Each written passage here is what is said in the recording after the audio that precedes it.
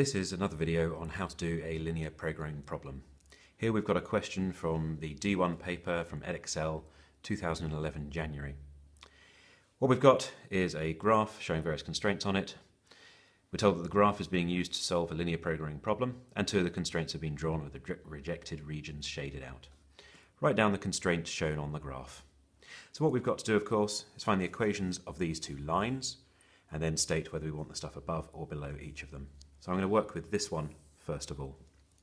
If we look at what's going on there, we can find the equation of this line quite easily using the y equals mx plus c version or format.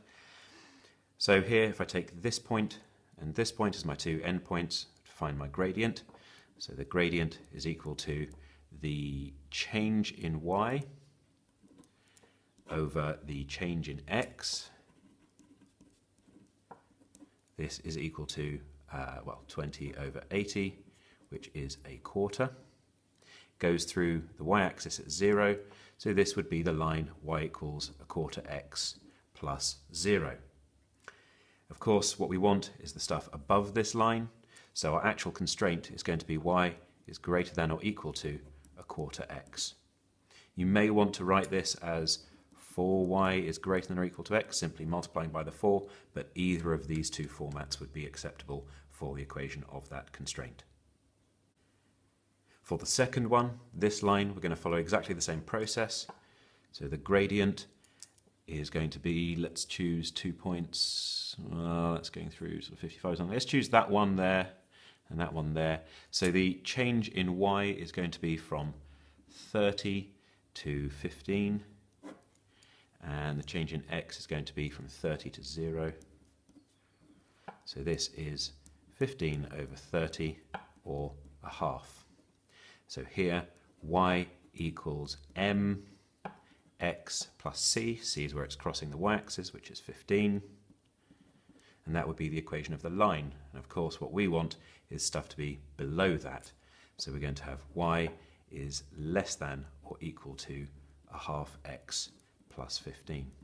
Now again, you may want to multiply this through by 2, uh, giving us, what's that? That equation. So again, either of these two would be fine.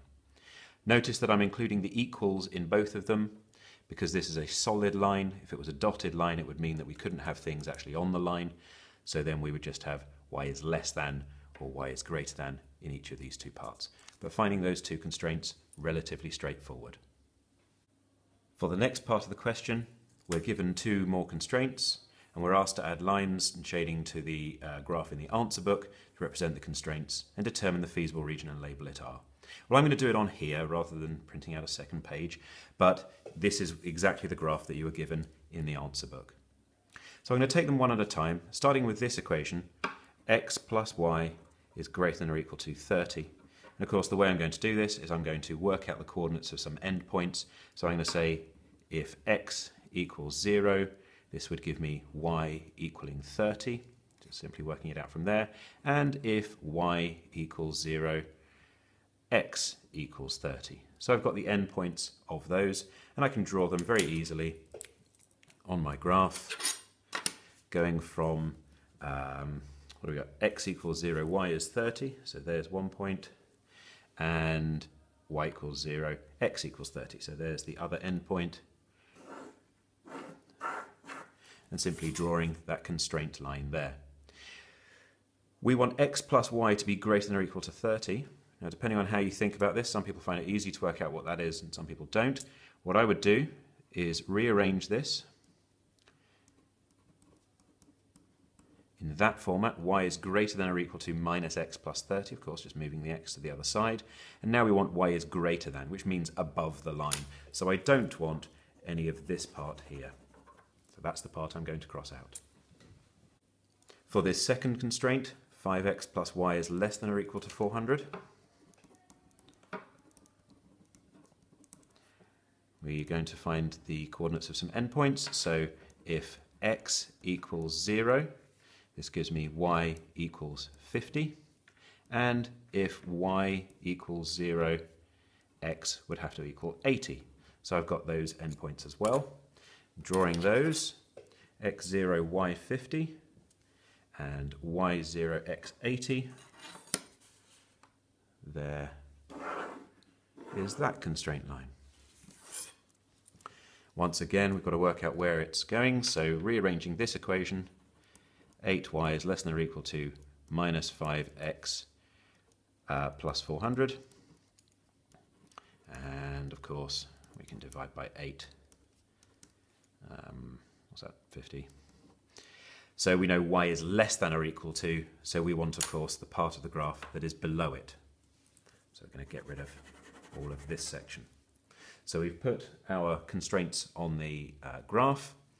Don't forget for the whole question, hence determine the feasible region and label it R. Well, the only part that is not shaded is this section here. So that is our feasible region R.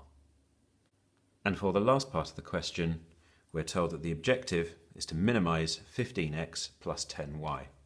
We've got to draw the profit line on graph 1 and use it to find the optimal solution, labeling the profit line clearly. So what I would do is work with this expression. We've got 15x plus 10y, and you might think about this as being profit or something like that. Why you'd want to minimize profit, I don't know. But anyway, working with this, what we're going to look for is some value for p uh, that we can divide by 15 and 10. The nicest value there, it would be probably uh, 150, something like that. Uh, so 150 is going to be the value for p. What I'm going to do is I'm going to work out some values of x and y that would satisfy this equation if it equaled 150. So some easy values would be something like if I had x being 0, y would be 15. Um, or I could have uh, y equaling 0 and x would equal 10. What I can then do is plot these as endpoints of a line where p equals 150. So if I do that now on our graph, we can see x is 0, y is 15, x is 10, y is 0. That, let's draw it as a dotted line, that line there is effectively our optimal line, our profit line. So I'm going to label that as being the profit line. Notice, of course, it does say you must label your profit line clearly, so make sure you do that. So we're trying to minimize that which means that we're going to move this graph, keeping the uh, gradient the same, and we're going to identify the first point that we come to of this feasible region. This is the first point that we come to.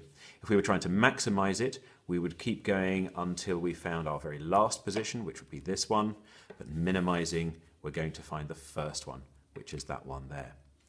So this is the optimal solution.